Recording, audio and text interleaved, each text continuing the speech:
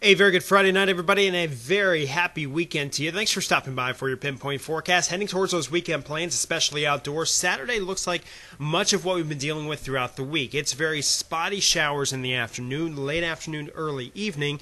A couple of thunderstorms in the Brazos Valley. Most of us do stay dry. Now, Sunday brings a slightly better chance for rain and storms through the afternoon. Let me show you on your pinpoint forecast here. We'll run this to Saturday, and again, spotty showers, and then later in the day, most of us are dry. See the big towers off in the distance, but some very small pockets of thunderstorm activity with heavy rain and lightning are possible through about 7, 8 o'clock.